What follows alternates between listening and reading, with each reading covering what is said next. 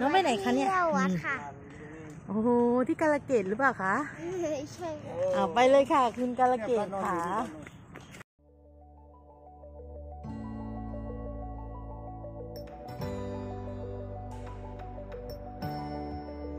วัดใหญ่ชัยมงคล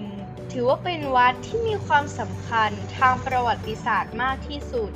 และเป็นวัดที่นักท่องเที่ยวนิยมมามากที่สุดวัดหนึ่งในจังหวัดพระนครศรีอยุธยา จึงเป็นธรรมดาที่จะพบนักท่องเที่ยวจำนวนมาก เดินทางมาวัดแห่งนี้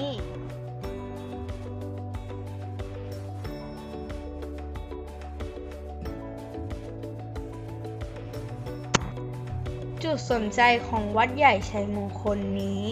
คือเรื่องราวทางประวัติศาสตร์ ในสมัยกรุงศรีอยุธยา รวมไปถึงสถาปัตยกรรมที่โดดเด่น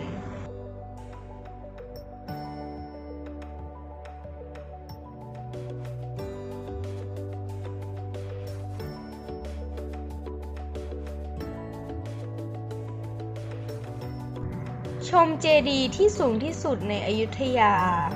ด้านหลังวัดมีตำหนักสมเด็จพระนเรศวรมหาราช ให้ผู้นับถือศรัทธาเข้ามากราบไหว้ นอกจากนี้บริเวณรอบๆ ยังมีสวนหย่อมที่สวยงาม ให้พักผ่อนอีกด้วย นักท่องเที่ยวที่ต้องการมาเที่ยวอยุธยาจึงไม่ควรพลาดอย่างยิ่ง